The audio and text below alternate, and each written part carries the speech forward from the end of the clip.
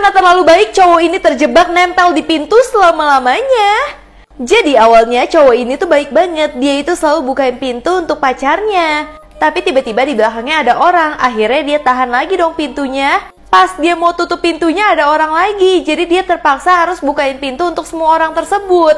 Tapi sayangnya saat ceweknya manggil dia, ini orang itu nggak ada yang berhenti sama sekali dan nggak ada yang mau pegang pintunya. Jadinya dia bertanggung jawab atas pintu tersebut guys. Sampai berjam-jam ceweknya udah nggak sabar lagi sama nih cowok karena terlalu baik. Bahkan akhirnya si cewek itu jalan sama cowok lain karena cowoknya nggak bisa nemenin dia guys.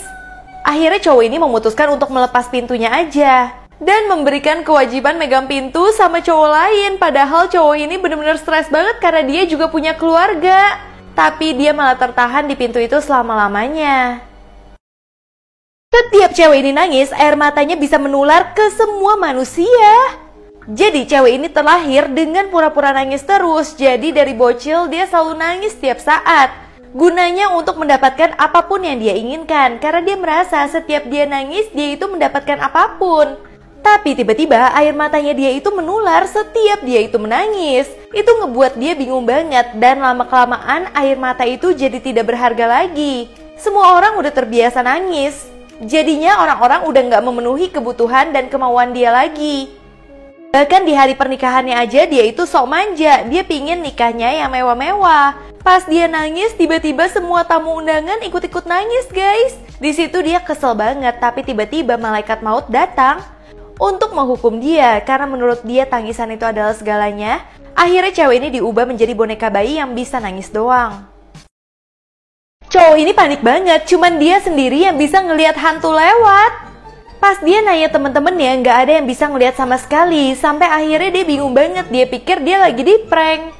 Dia pun akhirnya nekat memegang hantu tersebut, tapi temennya masih nggak bisa melihat sama sekali. Sampai ketika dia itu disiksa sama si hantu, bahkan dia itu sampai dibanting terbang.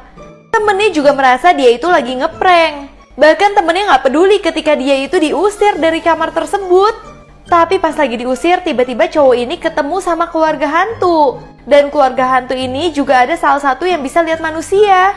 Tapi sama nasibnya sama cowok ini nggak ada yang percaya kalau dia bisa lihat manusia juga. Bocil ini pura-pura jadi Tuhan bagi para semut. Jadi tiba-tiba bocil ini melihat ada geng semut lagi berdoa ke Tuhan minta tolong dikirimin makanan. Akhirnya bocil tersebut mengerti dan langsung dong bocil itu baik banget ngirimin mereka gula. Nah, si semut langsung berpikir kalau Tuhan memang mengirimkan makanan untuk mereka. Akhirnya si semut bilang lagi, Tuhan aku mau minta tanah yang subur. Eh si bocilnya baik banget dong, bocilnya kasih tanah lagi. Tapi tiba-tiba salah satu dari mereka bilang, Tuhan aku mau jadi yang terkuat di antara semut-semut lain. Nah si bocil awalnya bingung, tapi akhirnya si bocil ngebakar semua semut yang ada, sehingga semut yang tadi menjadi yang terkuat. Karena semua semut lainnya udah mati. Kakek ini selalu pesen cewek untuk joget-joget di depan dia setiap hari. Jadi setiap hari kakek ini karena kesepian, dia itu selalu mesen dan melihat cewek-cewek seperti ini. Ternyata cewek-cewek tersebut sebenarnya nggak ada di dunia nyata, tapi cuma ada di dalam HP doang. Bahkan si kakek rela mengeluarkan uang yang banyak untuk nonton video-video tersebut. Sampai akhirnya matanya dia selalu merasakan sakit karena terlalu banyak melihat HP. Namun lama-kelamaan HP itu dianggap sebagai anaknya karena selama ini anaknya selalu nggak ada buat dia. Nah giliran anaknya dateng, si ayah itu udah nggak bisa lihat anaknya sama sekali karena pandangan si ayah cuma untuk ke si HP aja. Akhirnya si anak baru sadar kalau ini adalah kesalahan dia yang sering nggak punya waktu untuk ayahnya. Jadinya ayahnya cuma ngeliat HP doang dan nggak bisa punya waktu sekarang untuk anaknya. Cewek ini bakal dapat uang 14 miliar rupiah kalau bisa jawab mau makan di mana. Jadi cowok ini udah capek banget sama pacarnya. Setiap ditanya mau makan di mana, pacarnya itu selalu nggak tahu. Akhirnya cowoknya ngebuat kuis supaya ceweknya bisa milih mau makan di mana. Kalau nanti dia bisa milih jawabannya, maka dia akan mendapat 14 miliar rupiah. Nah, untuk memilih empat jawaban ini ternyata dia butuh bantuan. Dia telepon lah neneknya. Tapi karena neneknya juga seorang wanita, neneknya nggak bisa milih mau makan di mana. Sampai akhirnya dia memilih untuk menghilangkan tiga jawaban lainnya sehingga cuma ada satu aja. Yang jawabannya cowoknya akan milih makanannya, tapi ceweknya nanti akan berantem karena ceweknya bakal gak suka sama makanannya. Nah, setelah cewek itu menjawab, akhirnya cewek itu seenggaknya dapat 14 miliar rupiah, guys. Cewek ini maksa dokter untuk operasi plastik muka dia jadi kayak bule. Tapi dokter bilang mukanya dia itu nggak bisa dijadiin bule sama sekali karena memang berbeda. Akhirnya cewek ini marah-marah karena dia itu memang terobsesi banget pingin jadi bule. Bahkan kalau ada orang makan pakai sumpit, dia bakal bilang, ya ampun makan pakai sumpit, harusnya kan pakai garpu. Terus kalau diajak ngomong bahasa China, dia itu nggak mau sama sekali. Dia bilang dia cuma ngerti bahasa Inggris. Jadinya semua orang juga bingung, mukanya dia itu nggak bule, tapi kelakuan dia bener-bener kayak bule banget. Bahkan dia itu tiba-tiba kalau jalan aja harus ditatakin pakai tisu, karena dia merasa negaranya itu sangat kotor nggak kayak yang ada di bule-bule. Tapi tiba-tiba dia merasa muka dia kayak kesakitan banget kayak abis operasi plastik. Eh pas dia ke dokter, dokter bilang bisa membuat dia dan merubah mukanya jadi bule. Nah akhirnya cewek ini seneng banget dong, tapi ternyata dirubah beneran jadi bule sih. Tapi sayangnya cuma boneka doang guys. Tips rahasia kalau kamu mau ambil sidik jari orang. Yang pertama kalau mau ambil sidik jari biasa bisa pakai lipstick terus kamu pakaiin salotip di situ. Nah, nantinya lipstick yang udah ada sidik jarinya nempel di salotipnya dan bisa kamu gunakan untuk buka HP orang. Cara kedua biasanya pakai pensil. Pensilnya diraut-raut sampai kayak gini. Pas udah ada serbuk-serbuknya, biasa serbuknya bisa kamu olesin di gelas yang biasa orang itu gunakan. Nah, nanti akan ada sidik jarinya, kamu tempelin lagi deh pakai salotip.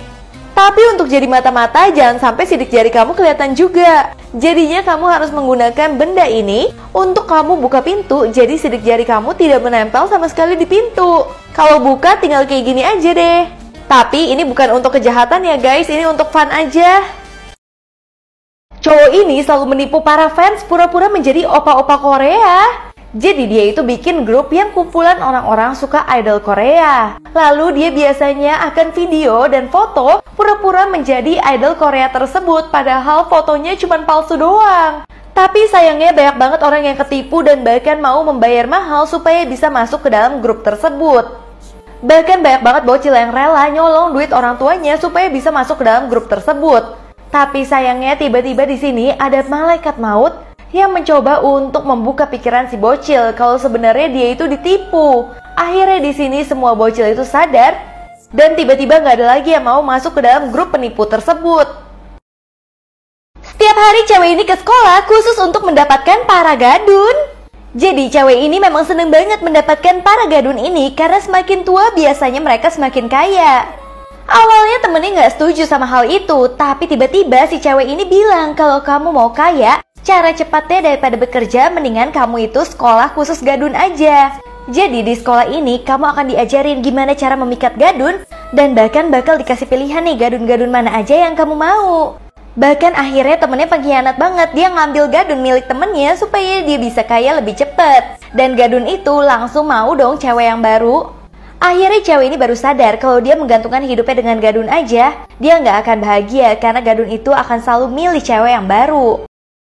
Wanita ini lagi santai-santai camping tapi tiba-tiba bayinya diculik sama monyet. Jadi awalnya wanita ini lagi camping seperti biasa. Tapi tiba-tiba sesampainya di hutan dia mendengar ada suara-suara aneh. Ternyata banyak banget monyet datengin dia guys. Pertama-tama si monyet pura-pura mau ngambil makanannya dia, tapi ternyata sebenarnya si monyet itu mau ngambil bayinya dia dong guys. Nah ternyata monyetnya itu sebenarnya tidak menculik bayi manusia. Tapi yang diculik itu adalah bayi monyet.